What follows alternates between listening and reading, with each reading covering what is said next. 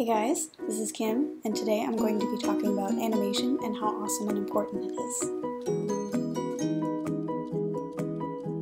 I have always loved animated movies and series, and I feel like sometimes they're underappreciated and written off as unimportant because they're just kids' movies, and they're seen as silly stories with no social relevance. It is true that there is animation like that, but not all of it is sugar-coated kid stuff. There is animation that addresses serious issues and is sometimes made specifically for adults. As Dr. Joseph Champoux from the University of New Mexico points out, sadly, some students, and perhaps some colleagues, will dismiss animated film as silly children's cartoons. They might view animated film as just entertainment, a source of pleasure, fantasy, and escape, not a serious source of teaching and learning examples. But animation is a beautiful meeting place for art and film, it's the comic book of the film industry. It's enjoyed but often not viewed as equivalent to its counterpart, literature, or in this case, live action film. As Dr. Paul Wells from the Animation Academy points out, there is a scandalous absence of animation in film theory, even though it is a radical and progressive art form whose confluence of all the arts idioms painting, drawing, graphic design, illustration, sculpture, theater, dance, music makes it the most inclusive of disciplines. I believe that animation is worthy of attention, that it should be considered film, and that it should be taken seriously. Animation should be considered film because animators have to think of the same things that live action filmmakers do, taking into account mise en scène elements like sets, costumes, lighting, blocking, and color. Plus, photography is still used in animation, since animators created the earliest films with frame-by-frame -frame photography of hand-inked paper drawings. The technique continued later with cel animation, or hand-inked drawings on glassine paper and celluloid material. Even with computer animation, they have to worry about blocking and shots, even though they're not using physical cameras to record it. Really the only difference is that animated filmmakers have to render everything, whereas live action filmmakers use real world people and places, and then maybe add in special effects. Some even prefer animation for this reason, including film critic Roger Ebert, who once called animation pure story, character, movement, and form, without the distractions of reality or the biographical baggage of the actors animation should be taken seriously because not all of it is just for kids. As animated film writer and director Brad Bird stated, animation is an art form. It can do any genre. It could do a detective film, a cowboy film, a horror film, an R-rated film, or a kid's fairy tale, but it doesn't do one thing. There are cartoons specifically made for adults, which might have violence, language, social and political issues like racism and abortion, and references to sex, drugs, and alcohol. Some include crude humor, and some genuinely want to point out societal problems. There are many things in these shows that kids would not appreciate or understand. There are also cartoons which are marketed for children, but slip in jokes for adults that children would not understand, to make it more enjoyable for adults taking care of kids. There are others that address very real issues, such as environmental problems, teenagers acting out parental roles, loss and depression, homelessness and poverty, emotional abuse, and prejudice, while hiding behind cute animation and funny jokes, so that it's still enjoyable to the child and they understand what's going on, though perhaps not quite to the extent as an adult would.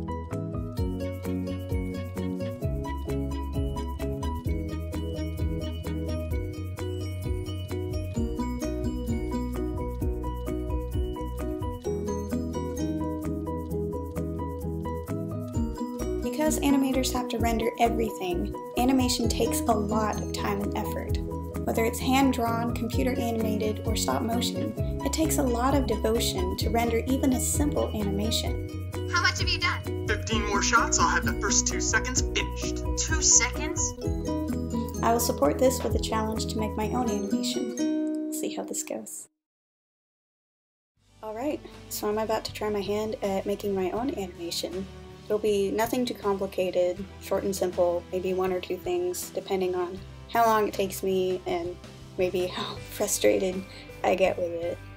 I guess I'm kind of nervous about how it'll turn out it probably won't be that great or that polished, but hopefully it'll give me some more understanding and insight and allow me to further my argument and perhaps my love of animation.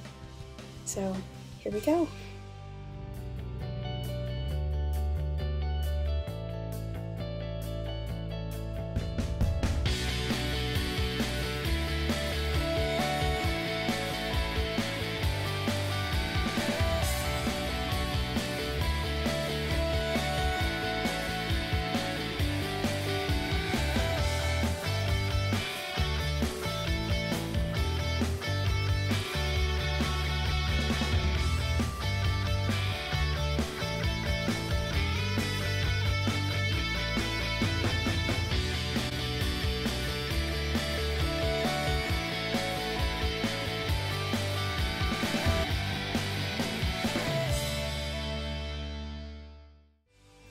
So I just spent like 15 minutes drawing all these little smiley faces. I I did not spend a whole lot of time on detail, but I enjoyed it. It was fun. I think it turned out decently well, especially since it's my first time and I didn't spend much time on it. It's actually really exciting for me because for years I wanted to be an animator, but I never tried anything, and I, I really enjoyed it. So I decided I'm gonna do another one. I think this time I'm gonna try doing a little person walking to be a little more complicated.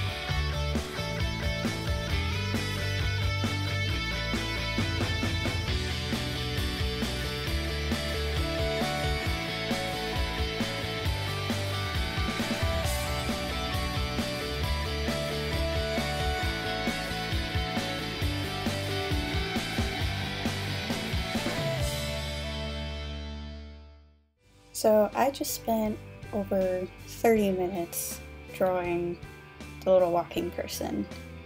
Uh, it was a lot more complicated than just a little smiley face. I did a short bit at first and tested it and it wasn't enough. It didn't look right, so I had to go back and do a lot more.